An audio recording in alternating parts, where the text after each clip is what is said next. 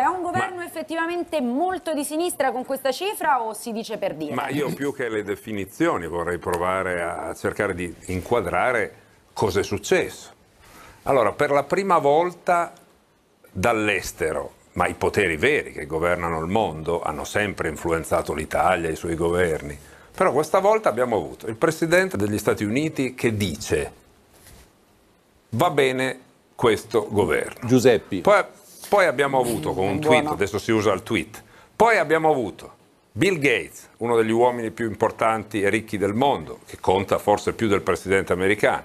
Poi abbiamo avuto Moscovici, poi abbiamo avuto Juncker. Juncker ha avuto anche la sfacciataggine di dire eh, usiamolo come abbiamo usato Tsipras, cioè facciamogli fare le cose che vogliamo noi. Lo ha detto, ormai possono anche dire una verità che magari una volta si teneva nascosta.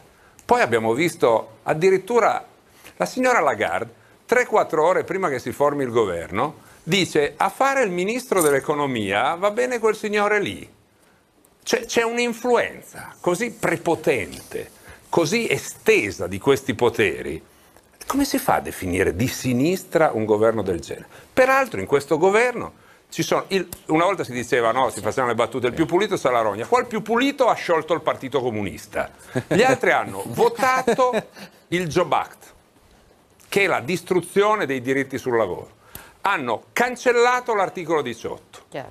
hanno fatto la legge Fornero. Ma come facciamo? È rosso di vergogna questo governo. Eh beh, Mi arrabbio, allora- scusate, la passione per me è politica. No, no, no, assolutamente.